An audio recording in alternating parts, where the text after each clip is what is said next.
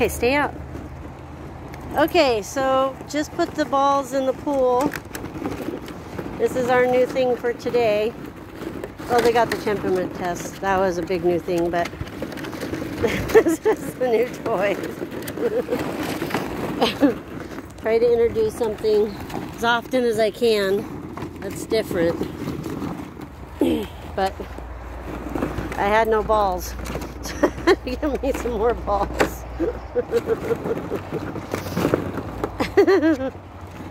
this is fun, huh? Is this fun? Oh, yeah.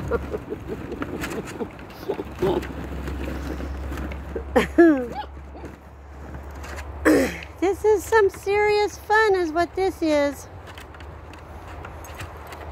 I honestly don't usually have this many puppies that dive in to the ball pool seasonally.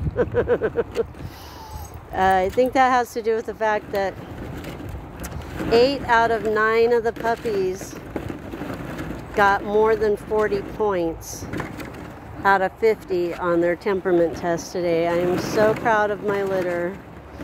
I honestly have not had a litter that have all scored that high.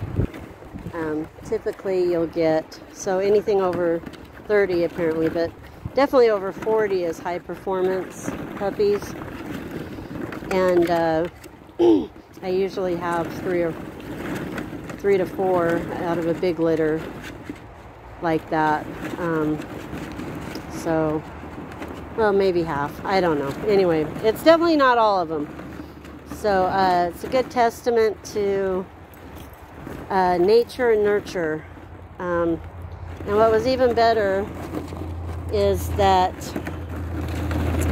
this is leave the balls in the pool please. I think i've made a nightmare for myself. Anyway what i was saying is um, oh my goodness i forgot what i was saying this is like too funny that's the orange girl she's like i'm gonna get all these balls out of here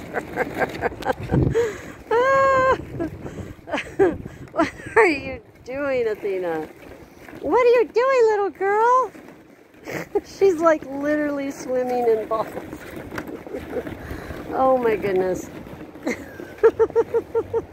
oh, this is funny.